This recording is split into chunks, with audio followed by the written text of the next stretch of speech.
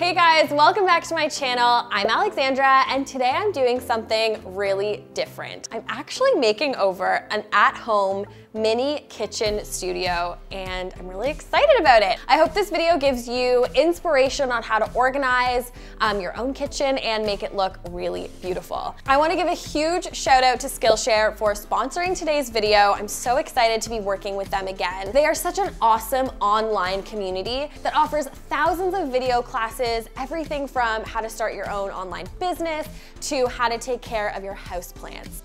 The course I took this week is called Happy House Plants, How to Pick a Perfect Plant. And I have been waiting to take this course because I kill like every plant that comes into my house. So this was super helpful. I loved the section on selecting healthy plants so you know what to look for when you go into the store. Um, I also loved that each module is how to choose a plant for highlight, medium light, and low light because I feel like every home is different and different parts of your home gets different light. So that was super helpful.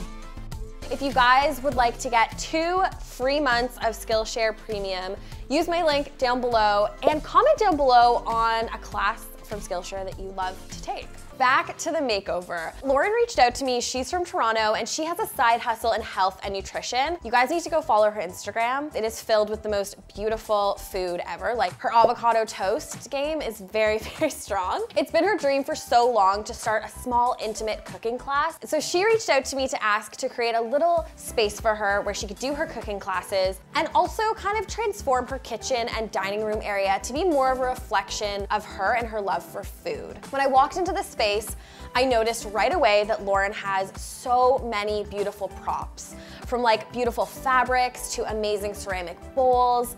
Um, she has all these things to take her beautiful Instagram pictures with all of her amazing food that she makes. But they were kind of getting lost on these two shelves and it really made the space feel super closed in. And I felt like all of these beautiful props were just kind of getting lost in these shelves. It was actually like a great way to store them, but it just didn't look really pretty and it certainly didn't look like a place where you would be inspired to cook.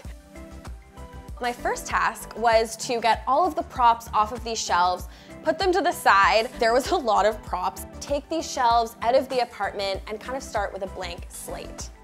So I decided that on this wall, I wanted to create a beautiful open shelving moment. And I think that this is actually a good tip for you guys at home. If you have a space that's kind of in between your kitchen and your dining room and it's a blank wall like Lauren did, you can absolutely fill that with your cooking accessories. You don't have to feel limited to jamming it in your kitchen cupboards or your drawers. And I feel like a lot of condos like Lauren's have this kind of weird in-between space between the kitchen and the dining dining room. So I wanted to go with floating shelves that were white because I wanted them to kind of blend into the wall and have all of her beautiful props and maybe some glass jars with spices or food in them to pop against the white wall and the white shelves. So I pulled out one of my old tricks. I got some simple glass jars from Ikea. I decanted all of her dried goods and used my retro label maker and I'm so happy with how this shelf display is already coming together. So at the top, I'm putting the props that Lauren doesn't use all that often, but that are so beautiful. I'm layering lots of things. Actually, a lot of you guys ask me for tips on how to style a shelf. And in this case, I'm just layering a ton of things. I'm putting her art prints right at the back, and I'm not afraid to layer things in front to add lots of texture, like this black woven basket. And then at the end, I'm just putting this beautiful hanging plant that drapes super nicely. I'm so thrilled with how this wall turned out and I'm so excited because now Lauren's students have a place where they can grab the dried ingredients that they need for the class and it also just makes her space feel like a foodie owns it. You know, like you walk in, you're struck with these beautiful shelves and you're like, yeah, this is, this encompasses Lauren. I think it's a perfect balance between function and decoration. So next, I am going to try and corral all of the props that don't fit on these floating shelves. I wanna create a kind of prop slash cookbook library for Lauren right under her island. The thing about this island is that there's actually storage underneath, which is being used. So I didn't wanna take away from that storage, but I also thought there's so much potential underneath this little island to put even more storage. Lauren mentioned that she never really uses the island um, and the stools underneath the island to sit at. She's comfortable prepping things standing, and they also have this amazingly beautiful harvest table table that they eat at. It was kind of wasted space. I searched high and low for a cabinet that was the depth of this island because there wasn't a lot of space to work with. So I'm gonna link the cabinets I used down below. They're from Ikea. I just didn't use the doors. I'm actually adding casters on the bottom. So this is going to enable Lauren to pull out the shelves um, when she wants to access that storage under the island. And I think putting them on wheels, these were $5 a pack. Um, it's such a simple way to create movable storage, especially when you live in a small space and things need to move. So now I'm just going around her apartment and finding all of the cookbooks in all of the different places and I'm color coding them because why not? They just look so pretty. And I'm layering in all of her other props in this cabinet. I think this is so fun because like I said, she's always taking pictures of her beautiful food. Now she can see her props, they're on display, and she can change them out season to season. She knows exactly what she has. And I love open shelving like this because when she runs out of room, it's kind of like she'll have to get rid of something to bring something else in. So it's always gonna look beautiful, it's always gonna look curated, and everything is an easy reach. These shelves also look really great pushed up against the wall under the floating shelf. So she has options. Next up is trying to find a home for the things that don't fit into this cabinet or the open shelf. So things like cutting boards, surfaces that Lauren uses to shoot on. So what I did was actually went out and bought a really big basket. You guys know I talk about baskets all the time, but they're just such an amazing way to make storage look decorative. So I'm just putting all of those bigger items. She has a couple vases that just don't fit on the shelves and these cutting boards and her marble surfaces that she shoots on just won't fit anywhere else. So I'm putting those in the basket, putting those underneath the floating shelves, and I think it just looks really great. It looks like a mini photo studio in here already, and I'm so excited to see it all come together. So next up, it is time to tackle the wall behind me. Now, this is where Lauren and I had talked about putting a little mini bar table. So somewhere where she can have extra seating for her students. She plans to have a class of like eight, so we needed another um, surface. The dining table feels a little bit far from the kitchen, and also it's a low surface, so she wanted something that her students can stand at. To kind of define this area, I'm actually using paint. Hey guys, so we're at Lauren's and I wanted to show you the two different paint colors we have going on here. Lauren was saying how she loves the like terracotta paint color right now. So I brought her a kind of rusty terracotta um, and then my favorite nudie dusty pink, which is called Southern Comfort. I'm gonna link it down below. It's one of my favorite pinks. We stood looking at the wall for so long. I think we've decided that we're gonna go with the pink. I feel like the terracotta is so lovely and bold. She has this black wall and I just feel like that's enough of an accent wall. And then when you bring in the orange, it just is gonna be like a black and orange wall. They're two very different colors. We're gonna go with the nudie pink and then let all of her other accessories kind of pop and jump out. I also wanted to show you guys what it looks like behind the scenes right now. I'm painting the section that's gonna go behind the bar table. And the bar table is gonna be where Lauren's students um, work. So it's gonna be like a separate workstation. And I wanna show you guys how we have done um, the straight line the crisp line on either side of the table. So we used a shelf and a level and basically just did a pencil mark all the way to the top and that way you get a really crisp line and you make sure it's straight. Now you could use a laser level for this.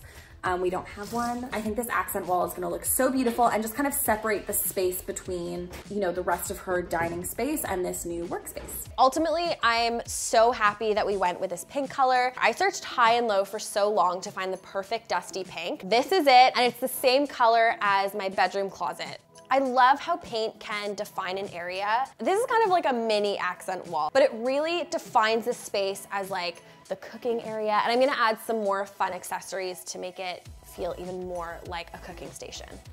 So next up, I'm adding this kitchen rail. It's just going right above the table and I'm hanging some really cute mint green um, kitchen utensils for her students to use. And then I'm hanging a photo ledge. This is gonna be a place where Lauren displays the cookbook of the class, which I think is so fun. We were also saying that it would be a great place to do little like Instagram posts like cookbook of the week. And then beside, I'm just placing a couple of spice jars so they're in easy reach for her students And then I'm putting these beautiful little glass vases on the S-hooks. This is where Lauren can keep fresh herbs so her students can just take them and, and use them in their dishes.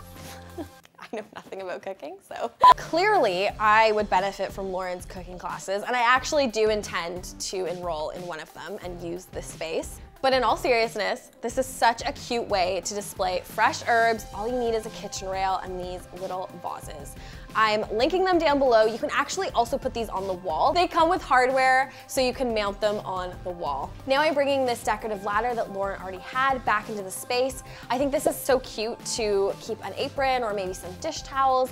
Again, just making decoration also functional. And then on top, right above this whole area, the ceiling is really high. So Lauren and I went back and forth on what we wanted to put up here. And ultimately, I'm really glad that we decided to use this little felt board. She can put the dish of the class up here or the theme of the class, anything she wants really. I think it's just so cute and ties this whole space together. And then the last finishing touch, these gorgeous stools. I'm so excited about these. I think that they're such a focal point of this space and they're just beautiful. She can tuck them right under the table if her students want to stand rather than sit. I'm so excited with how this space turned out. I loved taking on this project because it was so different than anything I'd ever done before.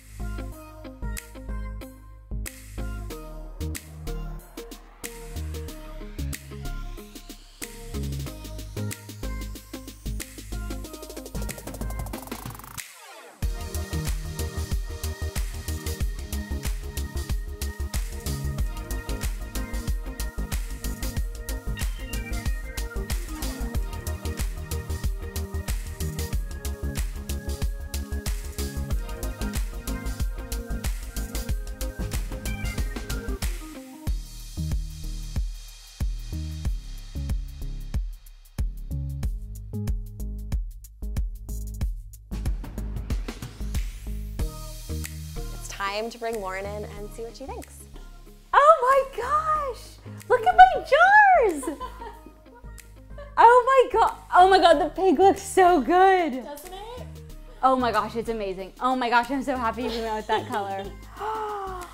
with the green little Cute, right? accents and the labels. Oh my gosh. Oh my gosh, I'm obsessed with it. And then wow. these are all your like, I thought your like prettiest props. Yep. Um, and your dried goods. Yes. And then down here is all of your other props and your cookbooks. Oh my gosh, I can't even. Wow. Oh my gosh, they're all in one spot. So then you can roll them out um, if you need to get back Wow, into the storage, yes. or if you want people to sit at your island. Right. And they look amazing up against that too. So Oh yes. And then in your kitchen, we kind of like reorganized the spices. Yes. So all of your spices there. So when you have a class, you take out the spices you need and you put them on there, on the little ledge. Oh my gosh, this is incredible. Yay, so wow, I have no words other than just, oh my gosh, I'm, I'm obsessed. It's beautiful. oh my gosh. It feels like a different space. Yeah. Like it feels like 10 times bigger. Yeah. It feels like you can fit so many more bodies. Yeah. Oh my gosh, I'm so excited. Wow. And the basket looks so great with the, oh my gosh, thank you so much. Wow. I'm like out of words. You like it? I love it so Okay. much. Thank you guys so much for watching this video and thank you to Skillshare for sponsoring today's video. Leave a comment down below on your favorite simple dish that you like to cook because I need some inspiration. I need to start with the basics, take Lauren's class, but also just learn dishes that are simple and easy and I'd love to know what you guys enjoy cooking at home. Thank you so much for watching and I will see you guys next Friday. Bye. Woo!